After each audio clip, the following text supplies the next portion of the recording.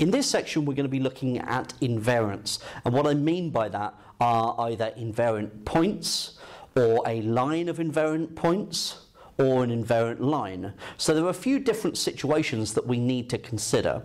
So remember what you're thinking about and what you're imagining is that graph uh, transformations are being represented as matrices. So these matrices are being applied to these coordinates. And what are happening is that they could be uh, rotations, they could be reflections, they could be enlargements or stretches or shears. Okay, so we've looked at a number of different situations. Or they could be a combination of those. Now, if a point remains fixed, so once you have applied the transformation and it has remained in place exactly where it began, we refer to it as an invariant point. Okay, so we have a possibility of an invariant point. Now, there is one point in particular that will remain invariant for all uh, transformations that can be represented as matrices. Okay, and that is the origin. Because if you have a matrix A, B, C, D, and you apply that to the coordinates 0, 0, you will get 0, 0. Okay? So it doesn't matter what A, B, C, or D are, you will get that the origin maps to itself. So the origin is an invariant point. Now, I also mentioned that you could have a line of invariant points. Okay, so what that means is that you have a line, well, points that are on a line, that once the uh, transformation is applied, remain fixed. So you could, you could imagine that these are all points along the x-axis, for example. After a reflection in the x-axis, these points will remain precisely where they are. Okay? And so this would be a line of invariant points.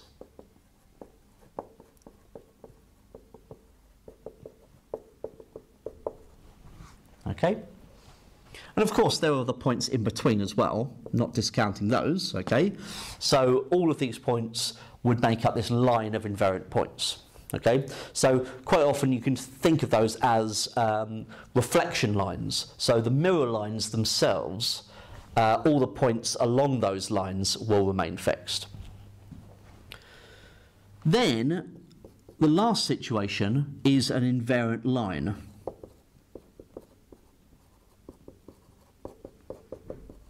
Now, this is different to a line of invariant points um, because an invariant line just says that points that started on the line remain on the line. But that doesn't necessarily mean that they remain fixed. Okay, so we're not just talking about a line of invariant points here. Okay, so for example, this could be your x-axis, and you have points that are on the x-axis which are mapped along it. Okay, so that could be a stretch parallel to the x-axis um, or in the x direction uh, by factor 2, say, for example.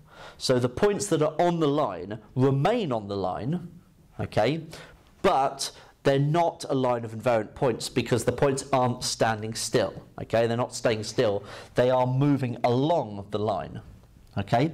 And so there is this distinction uh, between those two situations. Okay? So you can kind of think of this, uh, this situation as a mirror line, whereas this you might think as uh, a stretch in a certain direction. Now that's not just meaning that those two transformations are the only ones that will create a line of invariant points and invariant line, but it gives you something to kind of connect it to.